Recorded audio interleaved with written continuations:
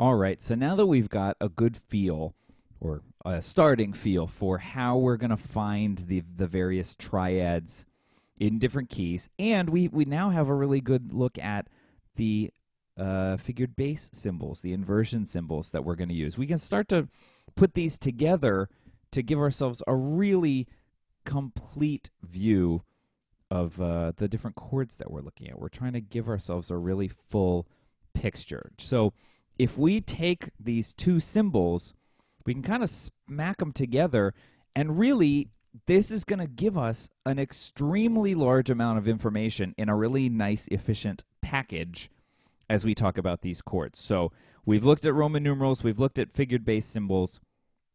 Time to put them together. So even just something like something simple like this, which you know you may be familiar with this kind of pattern from a piano class. Right? Something really simple like that. We can name these chords and be very descriptive about what's going on. So hopefully you know we're in the key of C major here.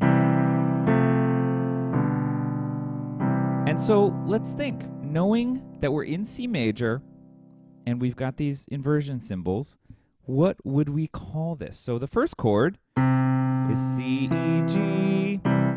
What are we going to call that in C major? We're just going to call it 1, right? Because it is the home chord. It's 1. And you'll notice that all I have here is the Roman numeral. So you may be thinking, yeah, but this whole thing, I thought you just gave this introduction saying we're going to combine the Roman numeral and the figured bass symbol. But remember, for root position chords, we don't put anything because the symbol or the shorthand for them is they're the most normal chords to get. So we just leave it blank. Let's do the next one. So we had a one chord. Let's go to this next chord here. So, first of all, to get the Roman numeral right, we need to figure out what the root is. And so we can try to stack these notes in thirds to figure that out. So we've got C on the bottom, but we can probably quickly tell that this is not a C chord, right? Because we just saw a C chord and that was C, E, G. So it's not that. The next note we have, though, we've got an F there in the middle. So what notes would we need for this to be an F major chord, or an F chord of any kind, really? We would need F, which we've got, A, which we've got, and C, which we've got on the bottom here. So that means this is an F chord. And if we have an F chord in the key of C major, what are we going to call it? Well, we can just count up C, D, E, F. It's the four chord right? So we would say that the F F is the four chord in C, right? C is one, D is two, E is three, F is four. And not only that, we can talk about the inversion here because we've got an FAC chord, but the fifth C is in the bass. So what did we call it when it was a triad with the fifth in the bass? we called it a 6 4 chord. So we can call this 464, which is such a tight, efficient package for what we just said. Because again, we could say, okay, well, this is an F chord, which is the fourth chord in C major, and it's a it's the fifth of the chord is in the bass, second inversion. That's a lot. Instead, this gives us we can just say 464. Done. Did it, right? So that's the beauty of combining these two symbols. There's a lot of information packed in there. And just the last thing I want to say before we look at the next chord here is remember that the secret secret to understanding these figured bass symbols is that they just literally are an accounting of the intervals that are present above the bass. So if we look here, C is the bass note. It's not the root, right? F is the root of the chord. C is the bass note because it's the lowest note. And above that C, there's a fourth and there's a sixth A. So when we look at these symbols, 6 4, it's literally just the intervals that are present and noteworthy above the bass. Okay? So let's do the next one. This next one, what do we think? What note is the root of this next chord? Remember, we always want to find the root to be able to stack the note in thirds and figure out its Roman numeral. We got a B on the bottom. If it was a B chord, what three notes would we have? We'd have B, D, and F. We've got B, D, no F, so it can't be a B chord. If we had D, it would be D, F, A, which we don't have. So what would it be? What the notes would we use in a G chord? G, B, D, which ah. is exactly what we have, right? So this is a G chord, and G in the key of C, we can just count. One, G, sorry, I don't know why I just was going to say numbers, right? C, D, E, F, G, five. So we would call G the five chord in C major. And what member of this G chord is in the bass? It's not the root, right? Because the root would be G, B, D. Instead, we've got B, D, G. The third of the chord is in the bass. And when the third is in the bass, we call it six, right? Because the thing that's notable is that we've got a sixth, the sixth from B to G, sixth. And so we would call this a 5 6 chord. What interval that's present here are we not mentioning?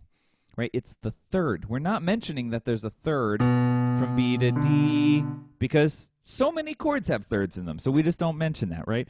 So we'd call it a 5 6 chord. And then, of course, we just get back to a 1. So, like I said, combining these two kinds of symbols, Roman numerals and figured bass, it makes it so that we can describe these chords and say a lot of information about them in not much longer than it takes me to just play them, right? Okay, let's get a little bit of a more um a more in, not intense by any stretch, but slightly more uh, realistic example here. So we're going to take a look at a phrase from uh, Bach's chorale, Wer weiß wie nahe mir mein Ende, which, you know, I'm sure you're all familiar, right? So here we go. Let's take a look. Let's see what this sounds like.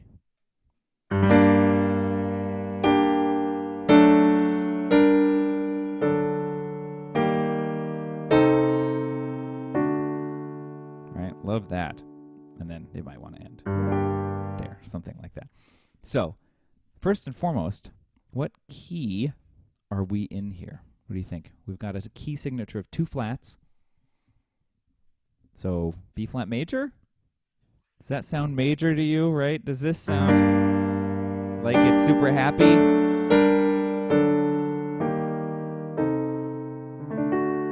No. So if it's not B flat major, we're going to say it's G minor.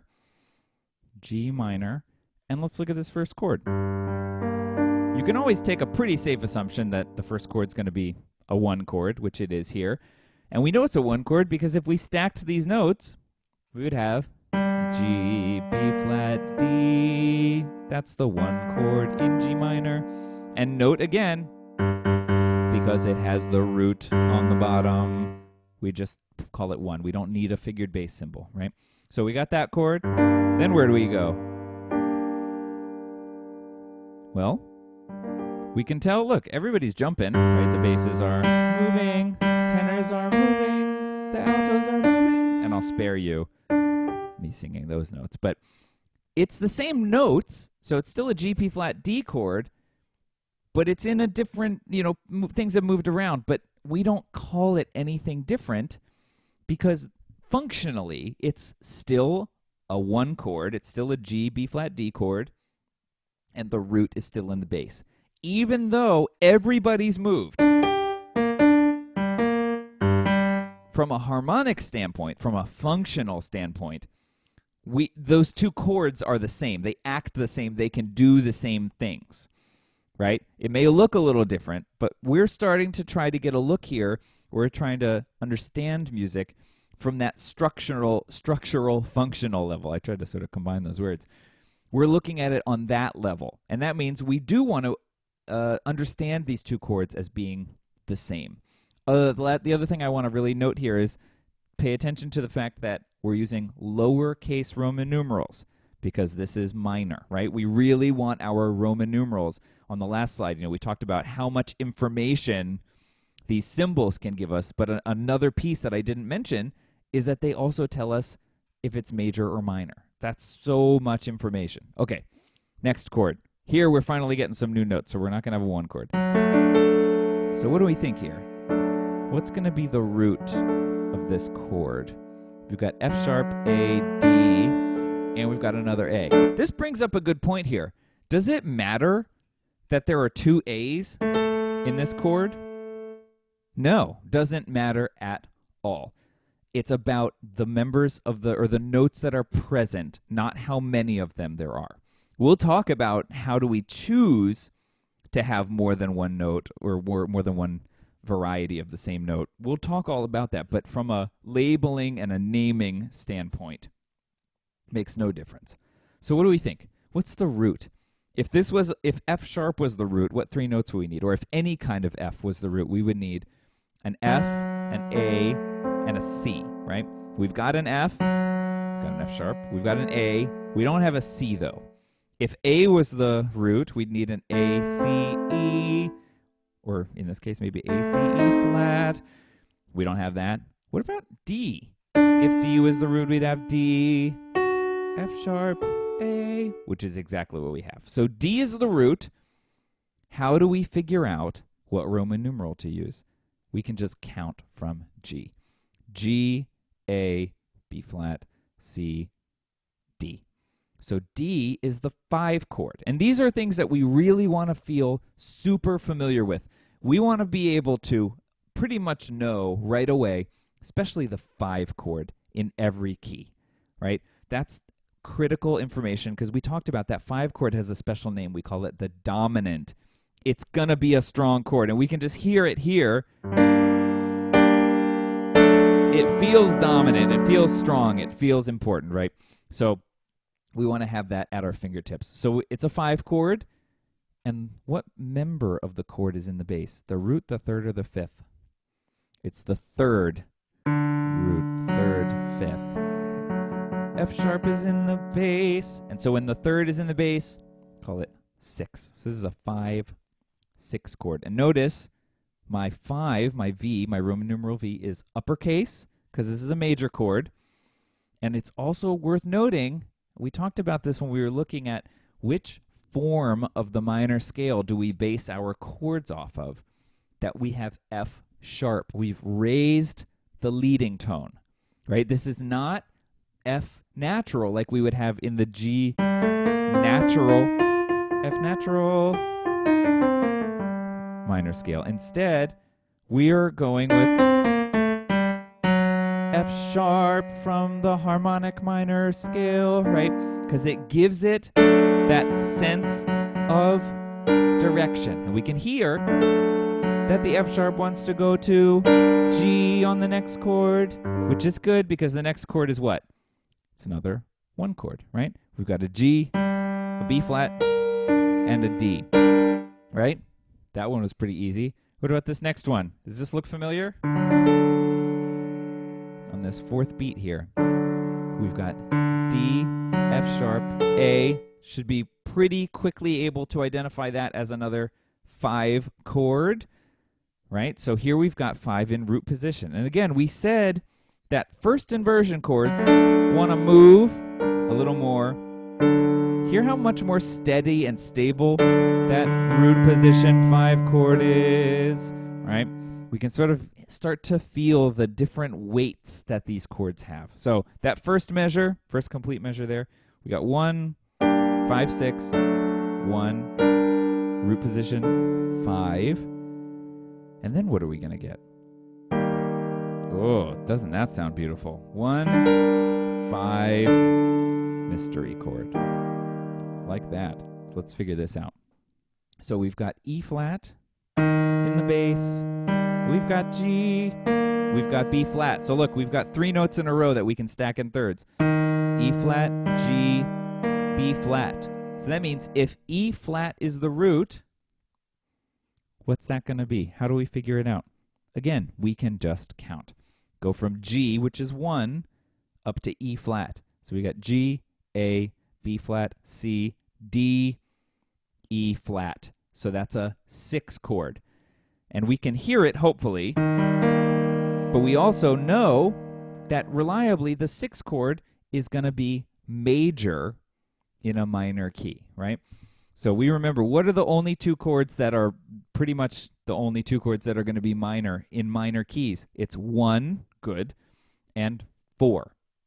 But here we go. We've got a beautiful, just bright major six chord, right? And it's such a breath of fresh air coming after this sort of pretty down sounding first measure. Even though we've got major chords, five, the dominant, wants to point us back to minor. That's its whole deal. That's what F sharp is there to do. So this sixth chord that we get here is like a momentary respite into the major land, right? Where does that go? We got six. That's a spicy chord, right? Let's look at this next one. Beat two. What do we think? We got C in the bass and then another C. So C seems to be kind of an important note. Do we think this could be a C chord? What would that be? That would be C, E, E flat, G. Is that what we have? We've got C. We've got E flat. Oh, but we don't have C. We've got A instead. So it's not a C chord. We just saw an E flat chord. That was E flat, G, B flat. So it's not that. What about A? Could this be an A chord? What would the notes be? A, C, E flat. So, yes, absolutely.